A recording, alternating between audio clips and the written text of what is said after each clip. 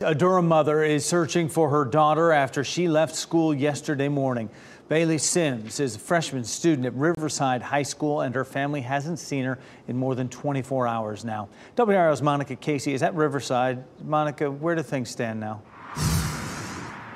Well, they are still searching for this missing 15 year old. Baleigh Sims' mother made this missing persons flyer and asks anyone with information about her daughter's whereabouts to call her or Durham police.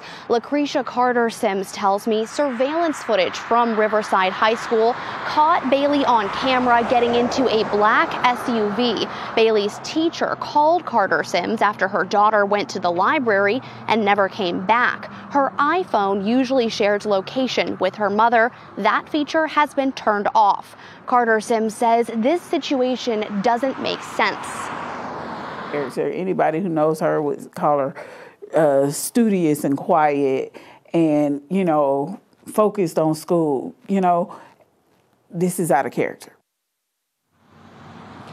Baleigh is 5'3 and 140 pounds. She was last seen in a black sweatshirt and blue jeans. I have reached out to Durham Public Schools for more information about their policies on students leaving school during the day. They tell me they are working on answers to my questions. Jeff.